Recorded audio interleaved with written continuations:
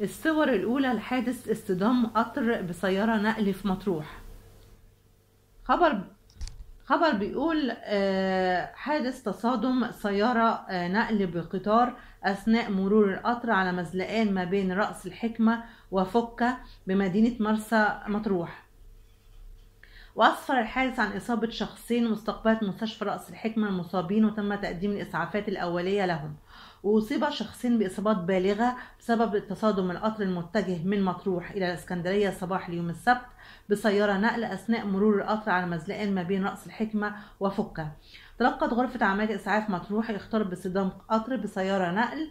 زي ما قلت في المنطقة اللي هي في إحدى المزلقانات اللي زي ما زي ما قلت قبل كده ما بين فكة ورأس الحكمة أثناء مرور السيارة. وعلى الفور انتقلت سيارات الإسعاف لموقع الحادث وكان نتج عن الحادث إصابة شخصين بإصابات بالغة.